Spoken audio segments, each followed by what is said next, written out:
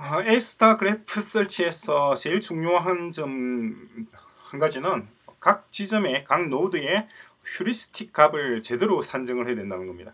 어, 너무 많이 잡아도 안 되고 또 너무 적게 잡아도 안 되는데 가장 큰 이유는 어, 두 가지가 있습니다. 그 중에 하나가 뭐냐니까 우리가 예전에 공부할 때 예전 그러니까 첫 번째 에피소드 공부를 할때 어, 아마 이 정도 지점에서 언급을 했던 것이 frontier이라고 하는 걸 공부를 했었죠.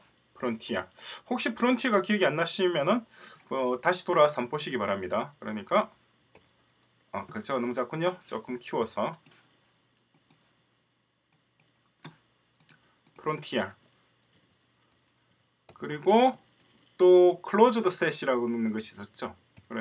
그러니까 한 번 방문했던 곳으로서 이제 다시 는 재차 갈 필요가 없는 것을 closed set으로 했었고 다음에 또 expandable 한 area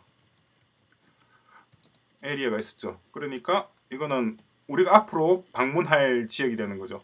경우의 수가 이렇게 있다고 한다면은 우리가 지금 어 여기서 뭐 출발해서 가는 거예요. 여기가 스타트 라인이고 여기가 우리의 골이다. 그러면은 얘가 이쪽으로 먼저 한번 가보는 거죠. 쭉 갔다가 어 가보고 또 여기서 뭐 뭐뭐 이쪽으로도 올 수가 있죠.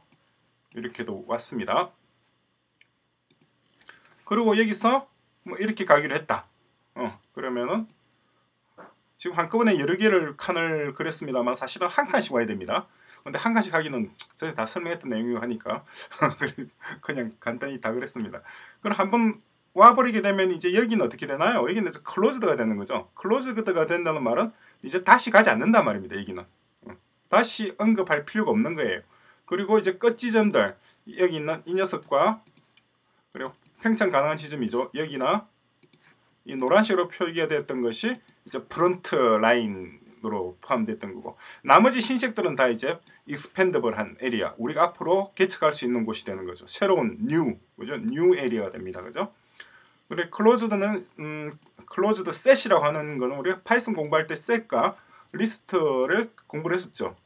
어, 차이점을 했었는데 리스트 set은 중복되는 원소가 없는 거잖아요. 그러니까 closed set이라고 하는 것은 하나의 set입니다. 셀 번호. 여기가 셀 번호가 1번부터 2번, 3번 쭉 내려와가지고 있고 또 이쪽으로도 0번부터 하는 게 맞긴 하겠습니다만 그냥 적었으니까 그대로 하겠습니다. 어, 그래서 쭉 있다 그러면은 각각의 셀 번호가 있겠죠. 이거는 셀 번호 2, 1이 되잖아요. 그럼 2, 1은 closed set에 들어간 거예요. 그러면은 나중에 다른 데서 또 2, 1이 등장하더라도 아 그거는 closed set이니까 다시 갈 필요가 없어 이런 거였잖아요. 어, 기억을 다 되살려 보시기 바랍니다. 혹시 기억이 안 나신다 그러면은 돌아가십시오. 첫 번째 과정 Introduction to Artificial Intelligence에서 다 설명했던 내용들입니다. 여탄 그렇게 됐는데 이게 잘못됐다 그러면 휴리스틱 값을 잘못 잡은 경우에는 어떤 문제가 발생하냐니까 지금 보면 S가 휴리스틱 값이 2고 A는 4잖아요.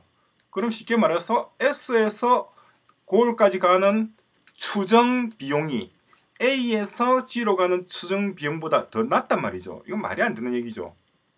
말이 안 되진 않죠. 뭐 말은 됩니다만은 그렇게 되면 어떻게 되냐면은 얘는 이제 움직일 필요가 없는 거죠. 여기 있으면 되는 거예요. 밑에도 마찬가지로 1 더하기 1이니까 휴리스틱 더하기 1 해서 F값은 2가 되죠. 여기는 어, G값은 제로니까 F값 역시 2. F값이 같으니까 움직일 이유가 없죠. 따라서 S에 그대로 멈춰 있게 되는 상황이 되는 겁니다. 또한 밑에도 보면은 이게 B 값을 H를 1로 잡았잖아요.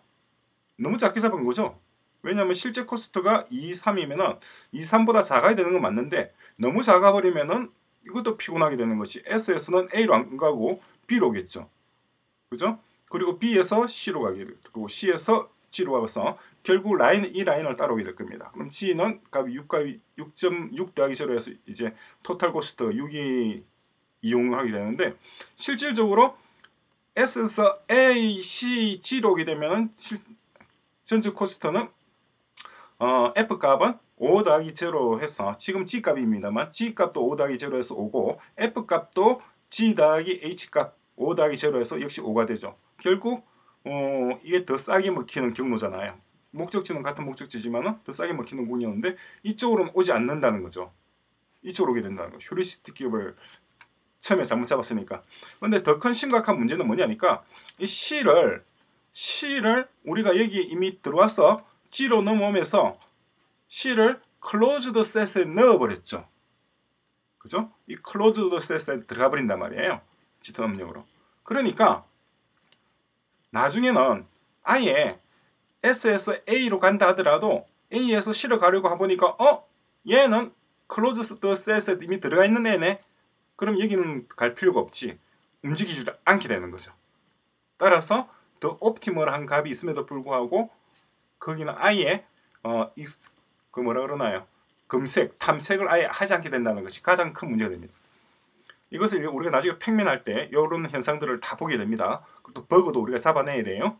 그래서 어, 휴리스틱 값을 잡을 때는 아, 원칙들이 있습니다. 첫째, 어, heuristic 값은 actual cost보다 작거나 같아야 됩니다. 즉 HA의 값은 G로 가는 actual 값인 1 더하기 4보다 작거나 같아야 됩니다. 그러니까 H4도 되고 H2도 되는 거죠. 지금 둘 다 되는 겁니다.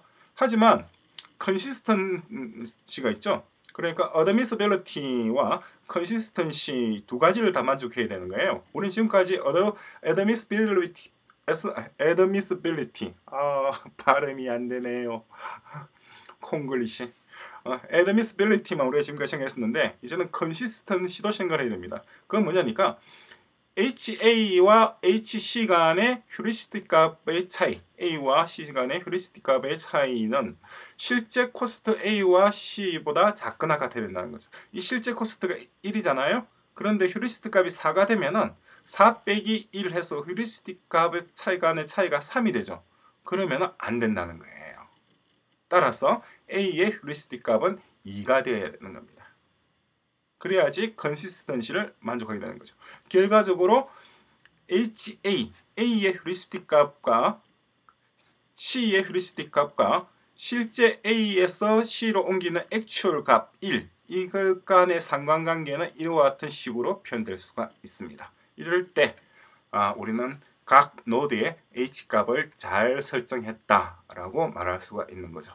나중에 Pacman 게임 코딩할 때 여러분들이 자주 만나게 될 겁니다.